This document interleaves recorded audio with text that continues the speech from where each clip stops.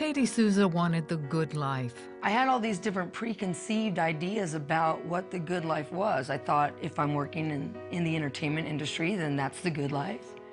You know, if I've got money, that's the good life. If I'm uh, famous, that's the good life. Katie pursued her dreams. I really loved radio because I loved music so much, and I thought, well, radio would be really fun, so I got into radio when I was really young, like 17 years old. I was on the air. I moved from Hawaii to the mainland, and I got a job working at CBS television. Started doing camera work there, running audio, and I was having a lot of fun. Acting and modeling opportunities followed. But drug use that began in her teens became a full-fledged addiction that threatened everything. I was doing all these great things on one hand.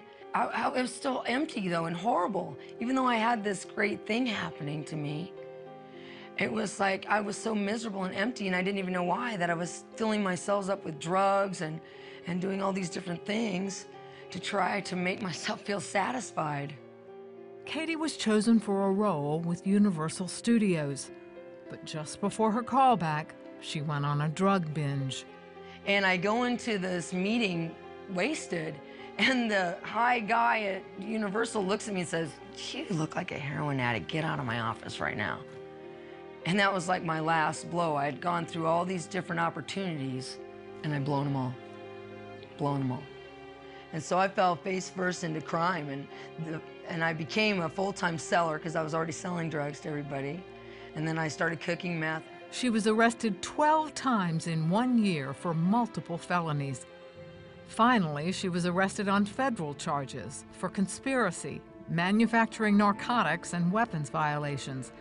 She was sentenced to 13 years in prison. I'm fighting with the cops. I attacked an officer. You know, I'm, I'm getting shook down every day by the, by the COs that are in the facility because I am just like starting up problems every day with all the officers and other inmates there. And I got thrown in the hole over and over and over again while I'm there. Finally, after a year of violent behavior behind bars, Katie reached her breaking point. I had been taken to this lockdown cell that wasn't like a regular lockdown cell. It was booking, so it was you didn't get a mattress. It's freezing cold. It's covered with urine and vomit and feces. And right then I just got a revelation. It's like, this is God's way of dealing with you. It took this level of a lockdown cell to get you to break. I'm the only one that can save you out of this. And I just finally had it. I can remember slumping back against that ice cold cement wall and just slumping down and thinking, I can't take this anymore. I mean, I had been fighting everybody out on the streets, and now I'm fighting everybody inside, and I didn't even realize that I was fighting God Himself. And right then, the Lord spoke to me. He said, I want you to surrender to your captivity, because this is my plan and it's perfect. Katie prayed to become a Christian. She read the Bible and shared what she learned with her fellow inmates. The only book in the whole place was the Bible. And I remember picking it up and reading through it. And I just thought, this is the coolest thing I've ever read in my life. This is so amazing. And I would go from the front to the back, to the front to the back, over and over again.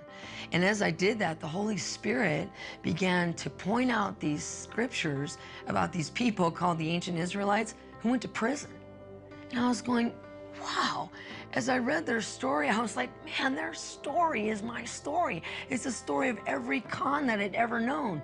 And I started getting excited about it. And I started teaching it to everyone that I could teach it to.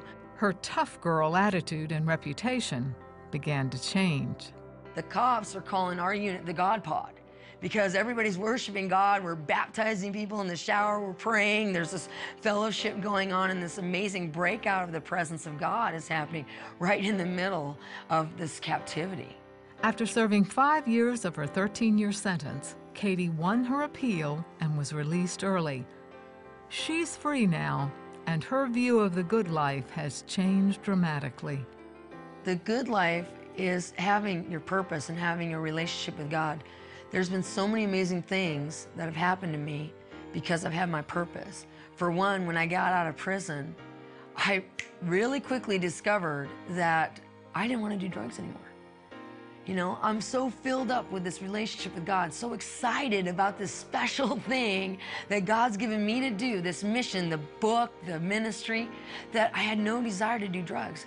Katie wrote a book about the lessons she learned from the Israelites' time in captivity and how God can use prison time to prepare people for their purpose. He has a bigger, better plan, an amazing plan where He wants to use captivity to totally give us our dreams, to give us our future. He loves us so much that He's got a plan for it, and it's way bigger than what we thought it was going to be. It's awesome.